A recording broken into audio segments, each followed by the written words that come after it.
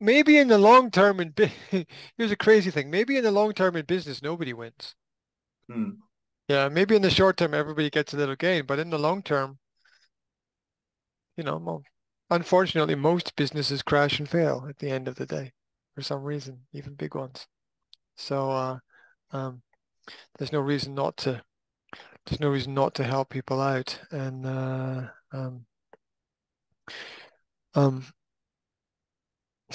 you know I don't know what kind of response people expect when they they like when they when they when they want things cheaper especially in a big company. It's like well what do you what do you want? Do you, do you want me to give you a phone number of someone that you can call and you're going to mm-hmm. call this person and the person's going to say yes for you everything is cheaper.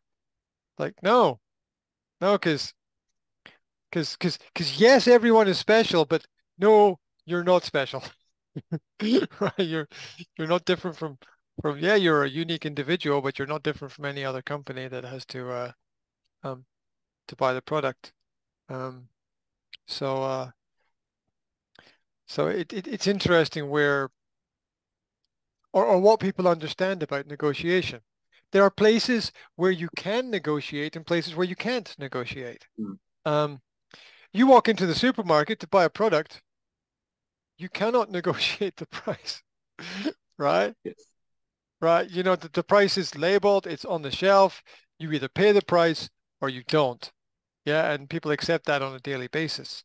Um, whereas if, uh, if you are in a market scenario, if you're bartering, then maybe there's variability in the price. Maybe if you're exchanging goods, you can exchange different quantities of things. Um, if you if you have something to offer,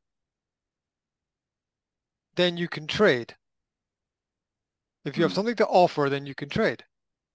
But if you don't have anything to offer that is interesting, then you cannot trade. you cannot you cannot trade at all. You've got nothing to trade with at all. Yeah.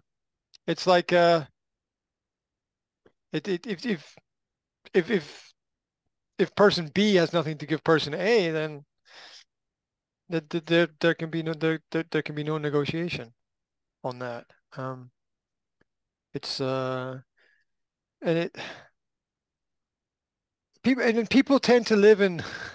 I I had a friend who who described it like this. She said, she said she said people live in their own happy bubbles, right? They live in their own little little happy sphere, their own little happy happy world, and they don't often understand what is happening outside of that. They think that their world is pretty much the same as everybody else's world. And um, it's a very non-empathetic approach to uh, uh, to uh, to the, the resolution of, of problems. And if you look at business in terms of conflicts and um, some elements of business are because a lot of business is on the market and sometimes that's war between organizations and companies.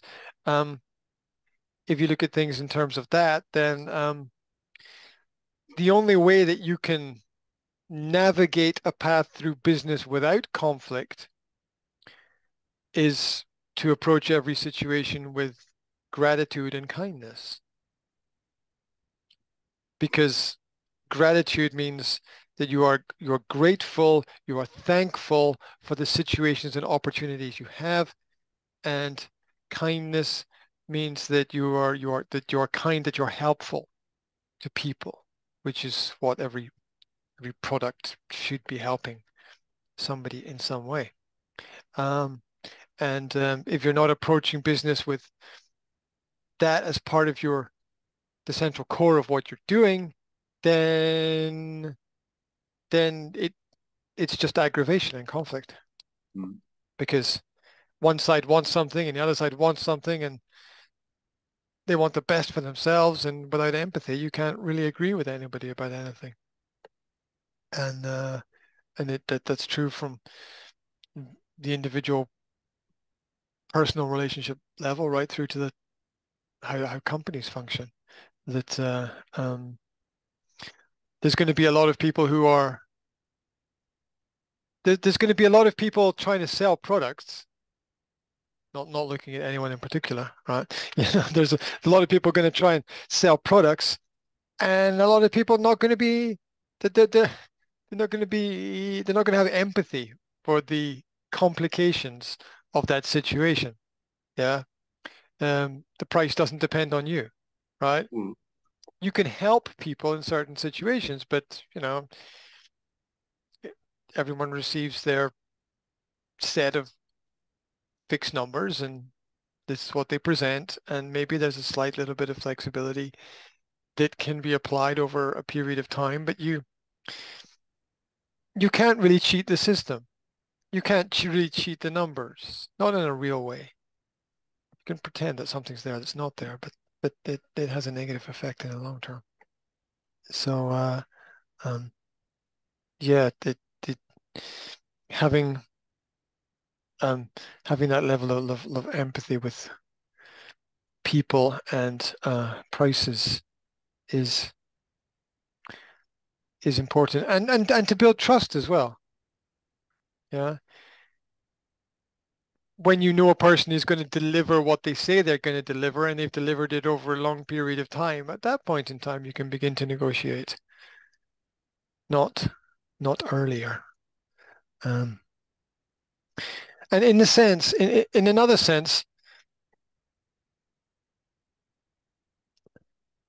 I I think a lot of things in life are done in reverse. They're done backwards. They're done the wrong way. And uh, here, here's a here's a theory. Negotiation is something which happens at the end, not the beginning. Right? A lot of people think that negotiation will be you know, you, you'll negotiate about something and come to a decision or conclusion. But um, real negotiation can only develop after there's trust. And trust can only develop after there's time. And so um, it's easier to negotiate later in terms of years of time. Maybe not in terms of short contracts, but uh, than it is uh, than it is earlier. Um, if you work for a company for many years, then the longer you work for them, in a sense, the more leverage you have, the more ability you have to make little changes in things, and the more respect people have for a person who's prepared to hope hopefully for a person who's prepared to put everything into one thing you know and it's working for a company becomes your life for anybody working for any company. You know, it's eight hours a day, plus minus, sometimes more, sometimes whole weekends, doing things that are uncomfortable. yeah, uh, trying trying to avoid stressful situations.